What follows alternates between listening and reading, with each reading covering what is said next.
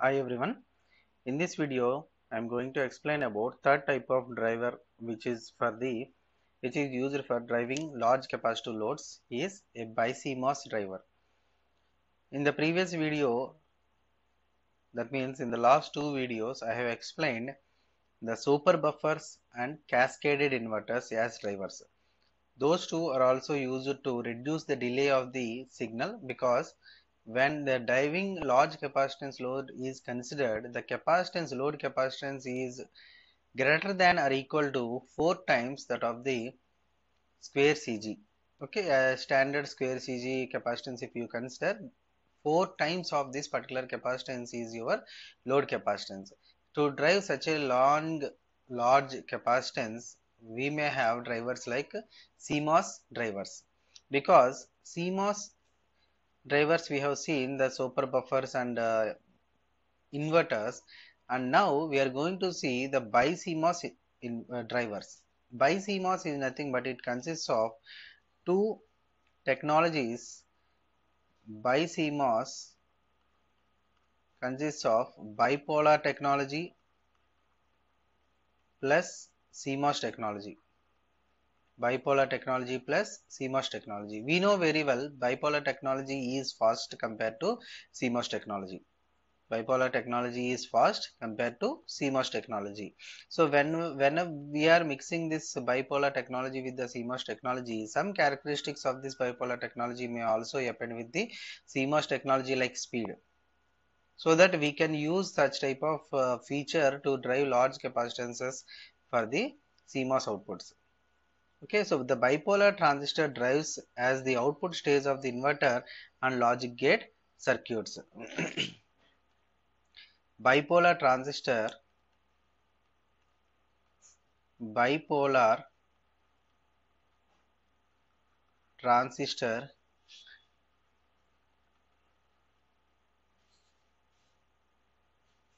drivers as the output stage of inverter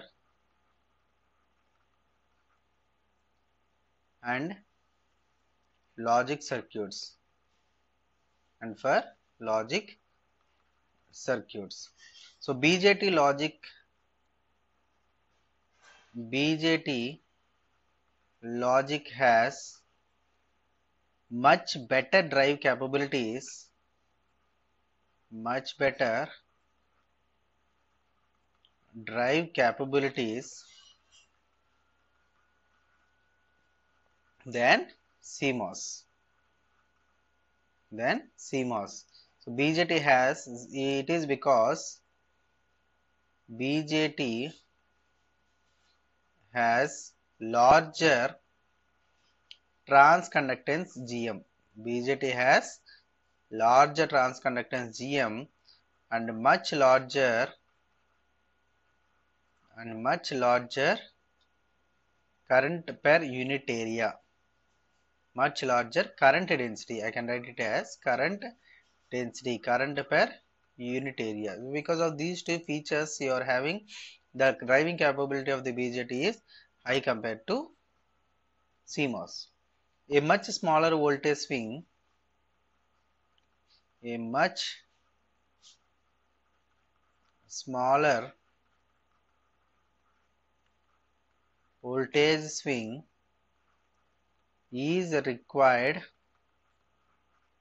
A much smaller voltage swing is required for switching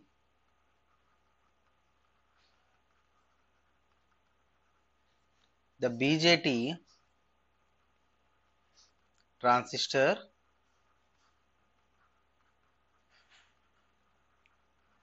Hence switching transients are much faster as compared to CMOS switching transients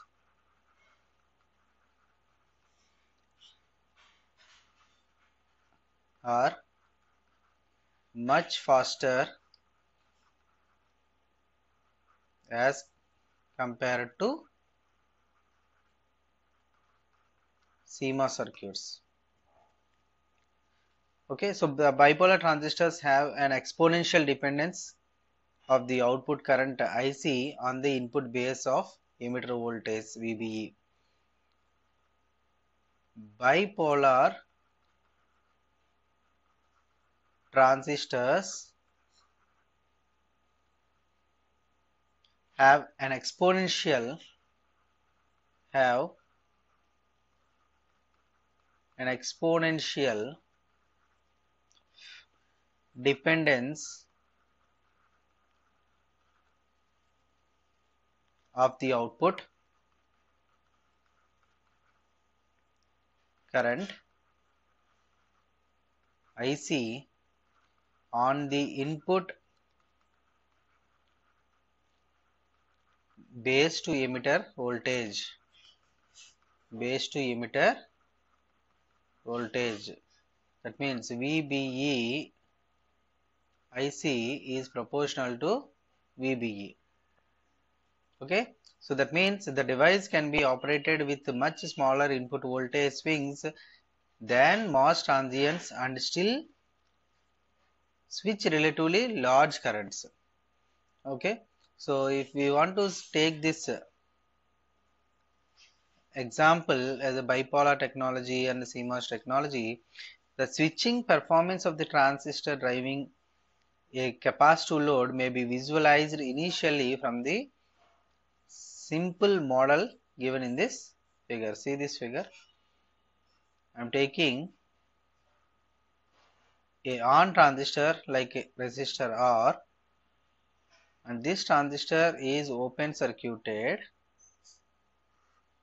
and load with a high capacitive load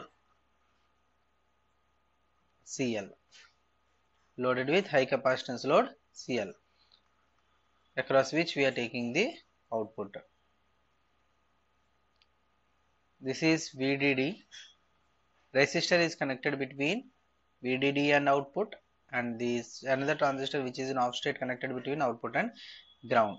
So input we are applying onto this transistor.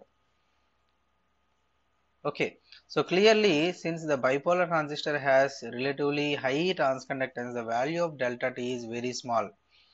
As GM is very high, delta T is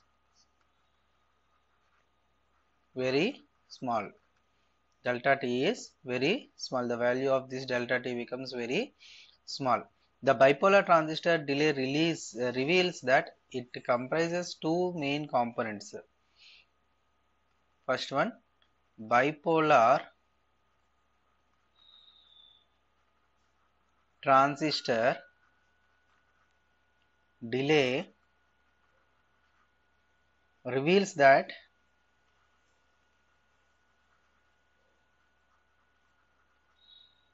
bipolar transistor delay reveals that it comprises two main components.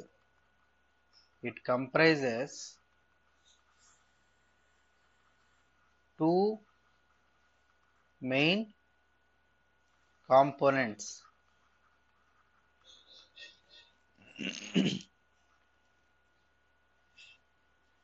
that means they are T in nothing but initial time T in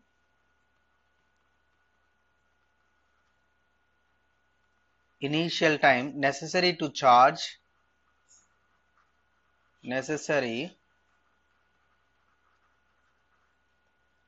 to charge the base emitter junction base emitter junction of BJT and TL time taken to charge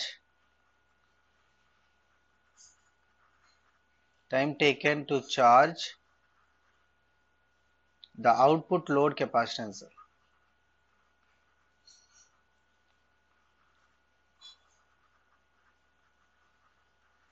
okay so TL is nothing but the time taken by the capacitor to charge in the output. So the bipolar transistor has a higher value of Tn and TL Tn and TL is smaller because the faster charging rate. Okay, so generally the relation is like this generally